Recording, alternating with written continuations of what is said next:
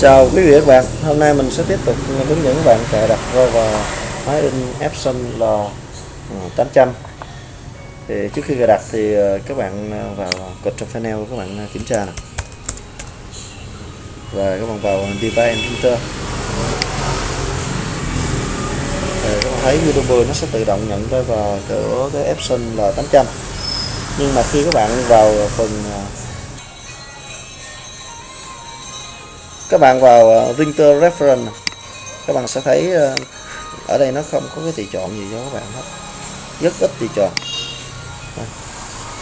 Không có nhiều cái tùy chọn để ờ, các bạn tùy chỉnh cái máy của mình.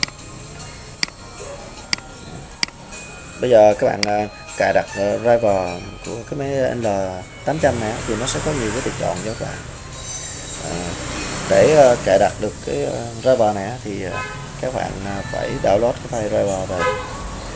Trước khi à, download driver thì các bạn kiểm tra xem máy của mình đang chạy hệ điều hành nào. Thì các bạn à, nhấp chuột phải vào disk PC vào property. Các bạn sẽ thấy à, như máy của mình ở đây đó là Windows 7 60 Windows 10 64 bit đây Windows 10 các bạn. Đây là phiên bản 64 bit như vậy thì nếu máy các bạn 32 bit thì các bạn tải cái bản 32 bit.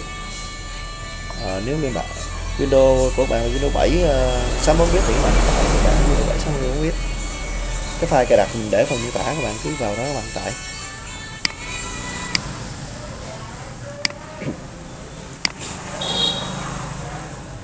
Bây giờ mình sẽ hướng dẫn các bạn ờ, cài đặt là cho máy in Epson và 800 rồi sau khi các bạn ờ, download cái file cài đặt về thì các bạn ờ, nhấn nút vào để tiến hành cài đặt. À, trên cài đặt và hiện lên các bạn bấm vào OK. Ở đây à, nó chỉ hỗ trợ một số ngôn ngữ ở đây nha các bạn. Với à, phiên bản là Epson L800 thì nó sẽ không có cái hỗ trợ tiếng Việt cho chúng ta. À, mình để uh, tiếng Anh nha. Bạn bấm OK. Bạn bấm vào Accept.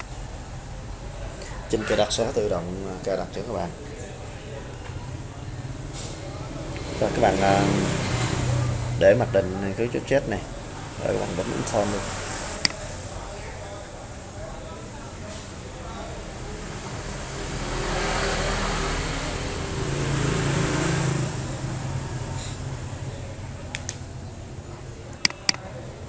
À, các bạn có thể vào control panel để các bạn à, xem thử nè. Đây nó bắt đầu nó dò cái vở mới nè. Trên cái đặt báo ờ, hoàn tất thì ờ, chúng ta đây.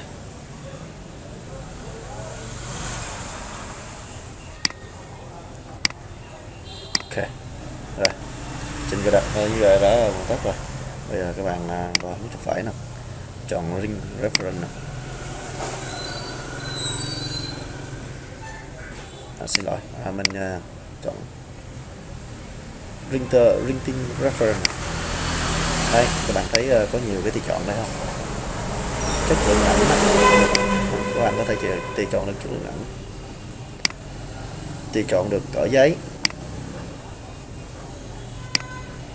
Rồi các bạn có thể ờ, tùy chọn vào clear mực đường vân này uh, monitor để quản lý máy in này in uh, kiểm tra.